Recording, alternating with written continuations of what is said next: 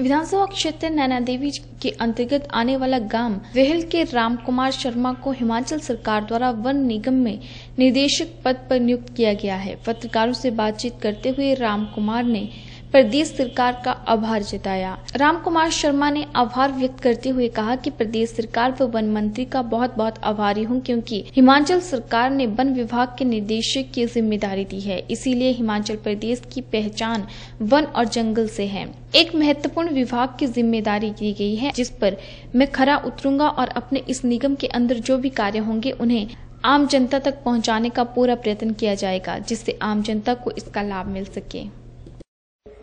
से जो मुझे हिमाचल प्रदेश की सरकार, हिमाचल के सामान्य मुख्यमंत्री श्री जयराम ठाकुर जी ने, जो मुझे जिम्मेवारी हिमाचल प्रदेश वन निगम लिमिटेड में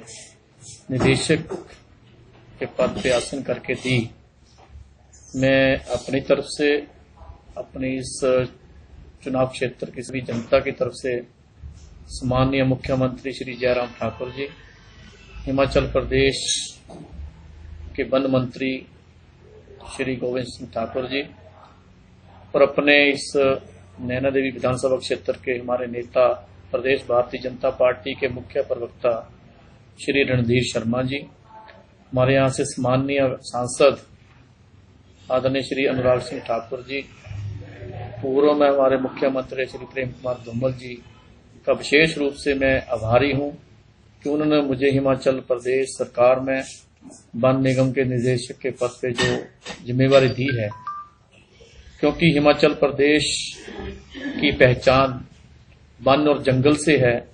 और एक महत्वपूर्ण विभाग के अंदर जो मुझे ये जिम्मेवारी दी, जिसके कारण पूरे विश्व में हिमाचल प्रदेश को वन के नाम, जंगल के नाम से जाना जाता है। इसके पूरा करने की जो मुझे जिम्मेवारी मैं पूरा प्रयास करूँगा कि मैं इस पे खरा उतरूं और अपने इस हिमाचल प्रदेश में जो भी इस निगम के अंदर कार्य होंगे, उसको मैं आम जनता तक पहुँचाने का पूरा काम करूँगा। सरकार में, जनता और सरकार के बीच में समन्वय बने, एक सेतु का काम करूँगा। आम जनता को उसका पूरा लाभ मिले ताकि जो ये निगम है हमारा, जिसके अनेक योजनाएँ उसको फलीभूत करके अपने लोगों तक पहुँचाने का मैं काम करूँगा। इस जिम्मेवारी के लिए मैं विशेष रूप से अपने प्रदेश की सरकार के मुखिया श्री जयराम ठाकुर जी का विशेष धन्यवाद करता हूँ।